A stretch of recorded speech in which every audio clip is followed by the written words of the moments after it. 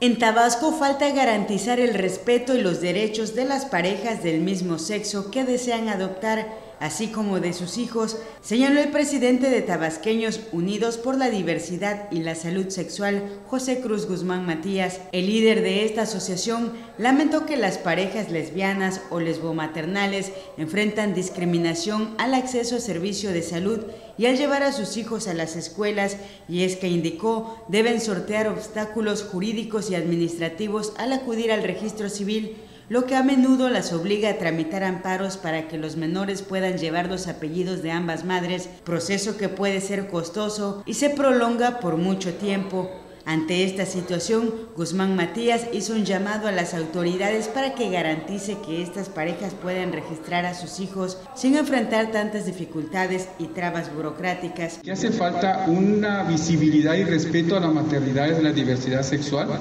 por lo que en este momento le exigimos a nuestras autoridades el reconocimiento de las familias homoparentales y lesbomaternales,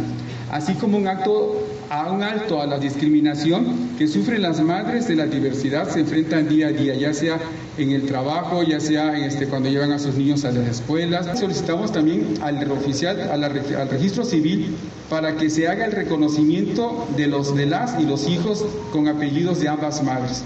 ya que para poder que ellas puedan adoptar a sus niños o ponerles sus apellidos de ambas, tienen que tramitarse un amparo y eso todavía pues este, es costoso y oneroso y a veces tienen que salir fuera del Estado para poder hacer este trámite.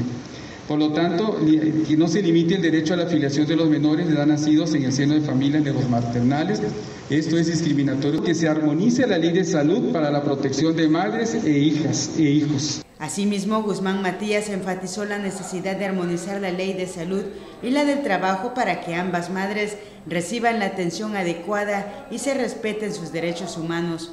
El presidente de Tudisex recordó que la Suprema Corte de Justicia de la Nación ha reconocido que la familia es una realidad social y que no existe un único modelo, lo que significa que el concepto de familia no es estático. Para Noticias TVT, Flor García.